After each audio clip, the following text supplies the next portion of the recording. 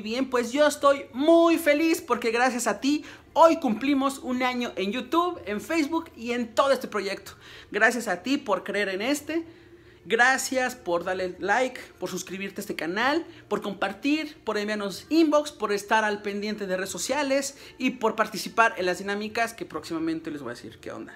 Porque esta celebración, tú, tú te la mereces. Así que bueno, en este video les voy a platicar un poquito de mí, de mi vida, quién soy y los inicios de este canal, por qué se dio y todo eso.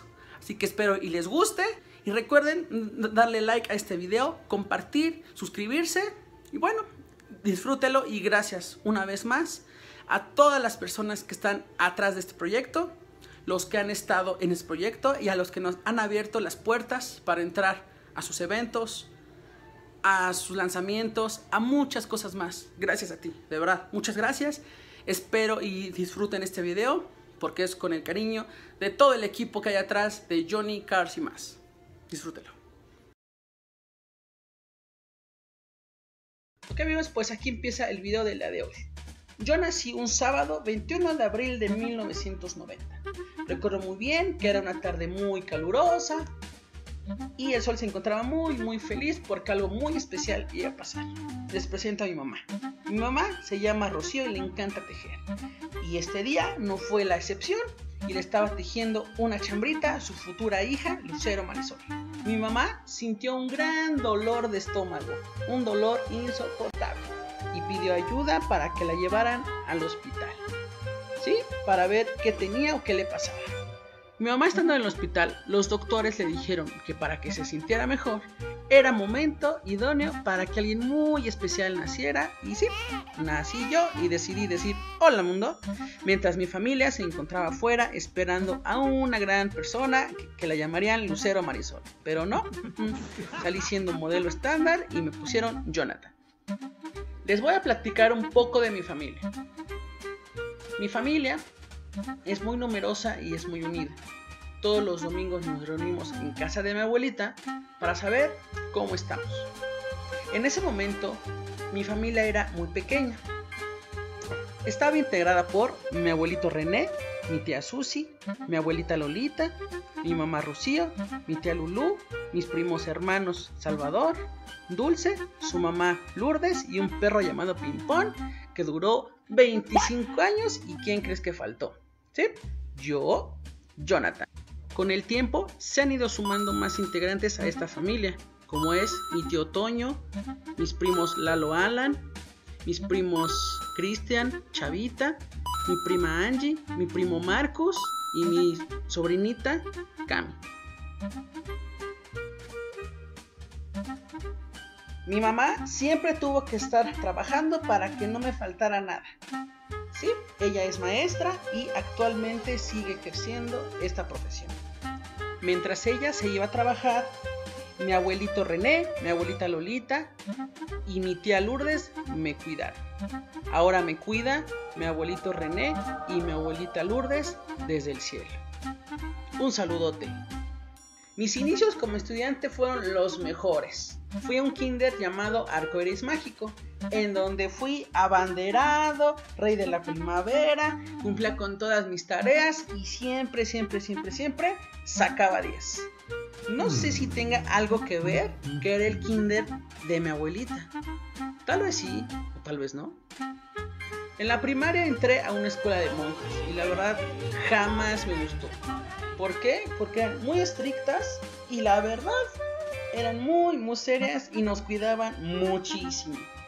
Ahí me volví un niño tímido, serio, reservado y la verdad, pues no pasó nada importante en la primaria. En esa misma escuela cursé la secundaria, donde casi repruebo tercero de secundaria por dos materias, química y física. Les voy a platicar cómo tuve mi primer accidente en un auto. Iba en el autódromo corriendo el Gran Premio de México cuando de repente se me atravesó una hormiga. ¿Sí? Una hormiga. Les voy a platicar en la prepa. En la prepa tuve mi primera lesión muscular. Estaba jugando fútbol, yo era el portero, brinqué por una pelota y ¿qué creen? me caí con el pie izquierdo que la verdad a la fecha me sigue doliendo mucho cuando hace frío o cuando camino mucho, cuando voy a los eventos los domingos, ahí me duele muchísimo. También les voy a platicar algo que les tengo fobia, que es a los doctores. Les tengo miedo a los doctores horrible.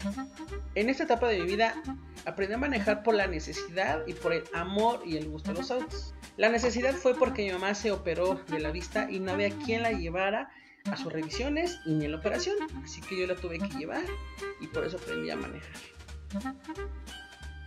En este tiempo se estrenó la saga más exitosa de todos los tiempos. Todo el mundo la ha visto, la verdad. Que es Rápido y Furioso. Creo yo que esto fue lo que marcó mi vida y lo que aumentó la pasión por los autos. Quería saber si realmente lo que se veía en las películas era verdad. Los arrancones, la velocidad, la adrenalina, las modificaciones y carreras clandestinas. Al terminar la prepa, mi mamá me hizo el chavo más feliz del mundo mundial y del universo y de la galaxia y de todo. Me regaló mi primer auto, era un Chevy color negro que en ese entonces, ¡puf! Me encantaba. Y la primera modificación que le hice fue cambiar el estéreo.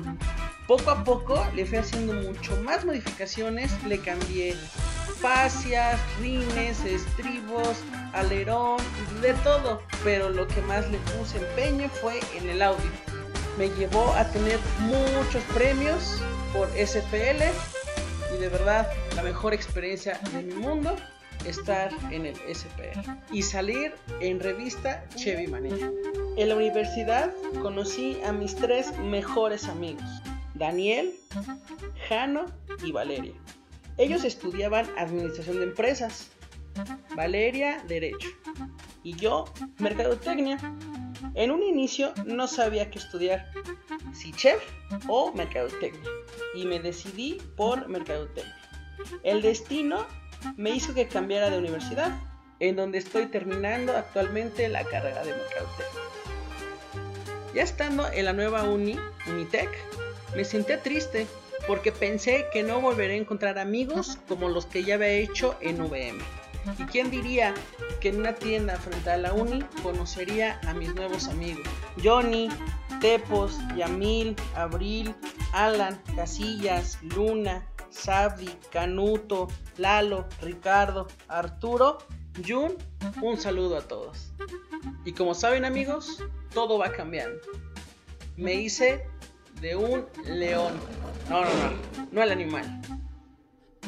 Me tuve que despedir de mi chevito.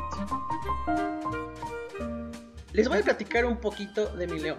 Mi león es 1.4 turbo. Le he hecho algunas modificaciones.